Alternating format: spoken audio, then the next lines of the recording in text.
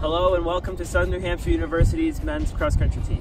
I chose to run cross country at Southern New Hampshire University because I saw that we would be a young team with a promising future and that we would all be together for the next three to four years. I love my sport because of the family that I was able to join over here at Southern New Hampshire University.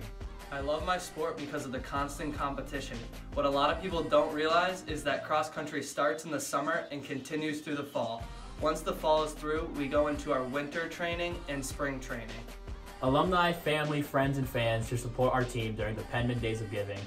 We're asking for $6,000 in donations, and with that money, we'll be able to extend our preseason as well as have access to more training equipment.